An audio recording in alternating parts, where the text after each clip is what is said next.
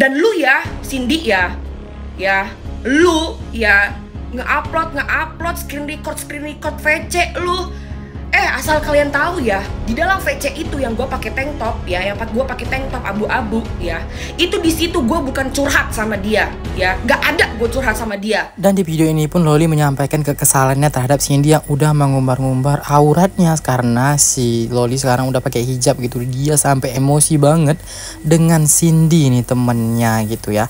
Nah dia di sini menjelaskan klarifikasi dan ini itu yang dipertanyakan oleh netizen dan di sini dijelaskan oleh si Loli. Seperti apakah lengkapnya teman-teman ya? kita simak videonya secara lengkap. Ya di situ gue nelpon dia gue VC dia karena inisiatif gue sendiri karena gue ingin meyakinkan dia karena kalau gue punya kalau gue akan ngebayar hutang. Ya. Di situ gue nggak ada curhat satupun. Oh iya gue hamil gue aborsi gue nggak ada. Ya. Nggak ada. Oke? Okay? ya dan di situ pun gue pengen tidur. Makanya gue pakai tank top sama celana pendek. Ya dan lu lihat dong sekarang gue gimana, ya? Gue sekarang udah pakai hijab nih. Gila lu, ngapain lu nge-screen record nge-screen record kayak gitu anjing? Gila, teteh gue ke mana-mana. Di sini gue udah pakai hijab, ya? Gue yang malu. Gila, teteh gue dilihat-lihat sama orang gara-gara siapa? Gara-gara lulah lu. Ya, ngapain lu nge-screen record nge-screen record kayak gitu anjing? Ya, Asal lu tahu, gue di situ niat baik anjing. Karena gue pengen ngebilangin lu, gue gak akan ke mana-mana dan gue akan ngebayar hutang pada saat itu. Gila lu. Ya, dan gue gak punya hutang 400 juta ya. Gue cuma punya hutang sama lu 30 juta ya anjing. Jangan lu lebih-lebihin dan lu bikin-bikin. Gila. Ya, akan gue bahas nanti di part selanjutnya. Gila lu sampai dibilang katanya gua dipukulin. Kan gue di situ udah bilang kalau ke lu karena kalau gua kejedot. Dan di situ pun lu sendiri yang ngomong ya Cindy. Ya di situ pun lu yang ngomong ya. Loli sih ngomong ke aku sih kejedot. Tapi aku sih apa namanya berpikiran kalau dia sih dipukul. Ngapain lu berpikiran kayak gitu? Ngapain anjing? Ngapain? Gila. Kalau gue udah bilang kejedot ya kejedot. Ngapain lu pikiran kalau gue dipukul sama Fadel terus kalau misalnya lu badan lu biru, lu kan juga punya pacar nih, ya? Terus kalau misalnya badan lu biru, ya? Terus nanti gue juga juga salahin pacar lu gitu, karena itu dipukulin, hah? Karena itu pemikiran gue, iya.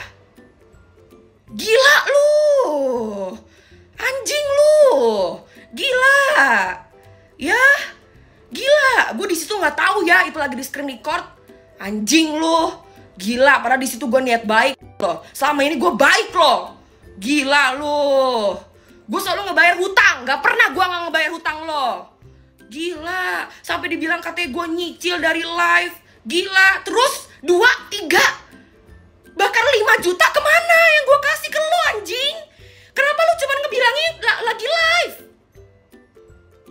Gila, nanti akan gue bahas lagi di part selanjutnya. Di sini gue pengen fokus dulu tentang kehamilan dan aborsi.